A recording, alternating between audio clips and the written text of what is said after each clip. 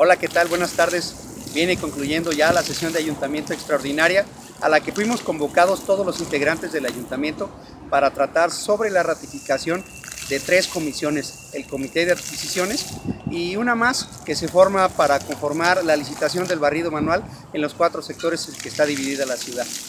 Por último, te quiero compartir que hoy en la mañana instalamos de manera oficial la Comisión de Zonas Metropolitanas con la firme visión de que sean las ideas las que nos unan en proyectos con otros municipios y no solo el corredor de la carretera 45 entre Irapato y Salamanca.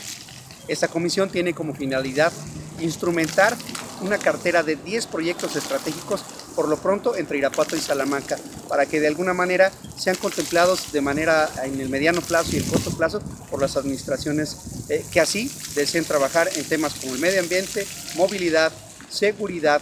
transporte, eh, entre otros temas que tocamos en la agenda. Como Aval Ciudadano contamos con la presencia del presidente de Coparmex, Javier Campos, que dará fe pues, de que estos trabajos se desarrollen eh, de manera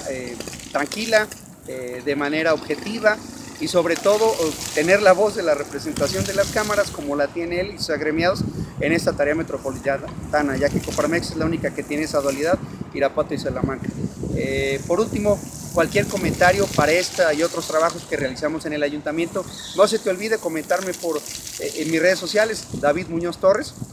en Facebook y www.regidor David Muñoz en mi página web. Agradezco mucho el tiempo que te tomas para poder hacerme tus comentarios, para que los veas aquí, vertidos en el Cabildo de Presidencia Municipal de Irapuato, Guanajuato. Bonito fin de semana.